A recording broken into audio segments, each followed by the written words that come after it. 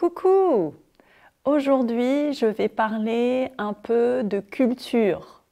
Est-ce que tu as vu le dernier épisode de Marie et Médor à la campagne?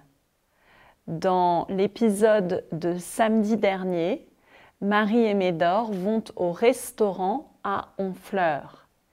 Et Marie commande un plat du jour et un dessert du jour traditionnel. Marie commande une tarte tatin. Bon, j'ai fait une petite erreur. J'ai dit que la tarte tatin était un dessert typiquement normand, de Normandie, parce que Honfleur se trouve en Normandie. Mais en réalité, la tarte tatin n'est pas normande. Et je vais t'expliquer d'où elle vient et pourquoi elle s'appelle la tarte tatin. Cette vidéo est pour un niveau intermédiaire ou débutant avancé. Aujourd'hui, je vais te parler de la tarte tatin. anisayel.com pour acquérir le français naturellement. Est-ce que tu as déjà mangé une tarte tatin? Mmh, c'est délicieux. La tarte tatin est une tarte aux pommes, mais ce n'est pas une tarte aux pommes ordinaire. C'est une tarte aux pommes originale. C'est une tarte qui est cuite à l'envers, mais qui se mange à l'endroit. En effet, la pâte de la tarte tatin est disposée au-dessus des pommes dans le moule avant la cuisson au four. Après, le moule avec la pâte au-dessus est mise et cuite au four, est enfournée. Mais quand elle sort du four, on retourne le moule, la pâte est renversée sur un plat et elle est servie tiède. La tarte est servie tiède, un vrai délice. Est-ce que tu connais l'histoire de la tarte tatin Son histoire est étonnante. Bien que la tarte tatin soit une tarte aux pommes caramélisée au sucre et au beurre, et qu'elle ait donc tous les ingrédients de base de la cuisine normande, c'est-à-dire les pommes, le beurre euh, en, en Normandie, les ingrédients de base sont les produits laitiers de la vache, parce qu'il y a beaucoup de vaches en Normandie. La vache normande est très célèbre. Donc il y a beaucoup de beurre, il y a du lait, de la crème, et il y a aussi beaucoup de pommes. On boit du cidre en Normandie et aussi du jus de pomme, bien sûr. Donc cette tarte tatin pourrait être normande. En réalité, elle n'est pas normande. Mais la tarte aux pommes est normande. La tarte tatin vient d'une autre région de France. Elle vient de la Sologne. La Sologne est une région qui se trouve au centre de la France, en dessous de Paris. Et c'est là, en Sologne, que vivaient les demoiselles les demoiselles Tatin étaient deux sœurs. Elles s'appelaient Stéphanie et Caroline et elles dirigeaient un établissement, un hôtel-restaurant familial dans une petite ville en Sologne, Lamotte-Beuvron. À Lamotte-Beuvron, il y avait donc cet hôtel-restaurant Qui se trouvait juste en face de la gare.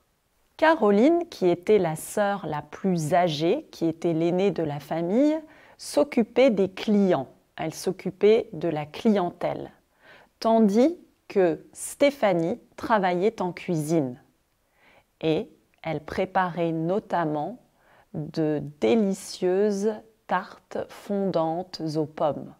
La légende raconte qu'un jour, un dimanche précisément, alors que Stéphanie préparait une de ses délicieuses tartes aux pommes, elle a oublié de mettre la pâte. Elle a oublié la pâte. Elle était très occupée, c'était un dimanche, il y avait beaucoup de clients et euh, Stéphanie a oublié la pâte. Elle a enfourné le moule, elle a mis le moule avec les pommes dans le four sans la pâte.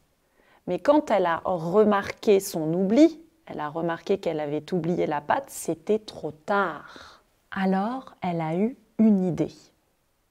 Elle a sorti le moule du four et elle a simplement rajouté la pâte au-dessus des pommes.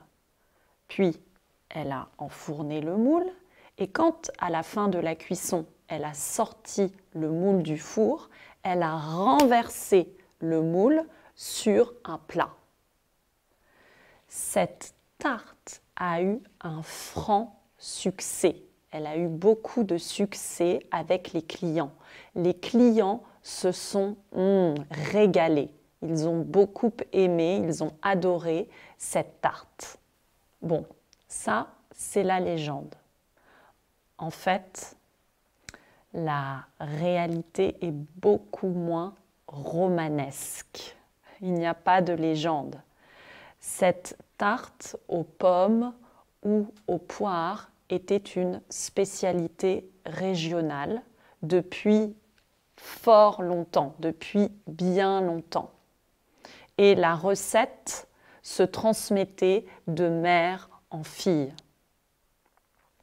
Bien sûr, les demoiselles Tatin et l'hôtel-restaurant Tatin avaient une très bonne réputation et par conséquent, cette tarte a été popularisée et devenue fameuse grâce à ses deux sœurs, et notamment grâce à Stéphanie qui travaillait en cuisine. Mais la légende ne s'arrête pas là. À cette époque, le propriétaire du fameux restaurant Maxim's à Paris, un certain Louis Vaudable, était un jour au restaurant des Demoiselles Tatin et il dégustait, il mangeait un très bon repas et il a découvert la tarte tatin. Il a mangé en dessert la tarte tatin et il s'est régalé. Alors il a demandé la recette aux sœurs tatin, mais celles-ci ont refusé de lui donner. Elles, ont, elles ont gentiment refusé de lui donner, elles lui ont dit non. Louis Vaudable, qui voulait absolument la recette pour son restaurant à Paris, a alors envoyé un de ses pâtissiers en mission d'espionnage à La Motte Beuvron. Et ce pâtissier s'est fait passer pour un jardinier, pas du tout un homme de cuisine il s'est fait passer pour un jardinier qui cherchait un travail, qui cherchait un emploi. Et il a volé, il a pris la recette de cette délicieuse tarte aux pommes. Mais Louis Vaudable était copieur, oui, mais il était honnête. Et au restaurant Maxim's, il a appelé, il a nommé cette tarte aux pommes la tarte des demoiselles Tatin. C'est ensuite le célèbre critique culinaire Maurice Edmond Saillant, qui était surnommé Kurnonski, le prince des gastronomes, qui a rendu cette tarte célèbre. Il a publié cette recette dans l'un de ses livres et il l'a diffusée à Paris, dans le tout Paris. On raconte même que c'est lui qui a inventé cette histoire, cet oubli de Stéphanie Tatin pour amuser les journalistes.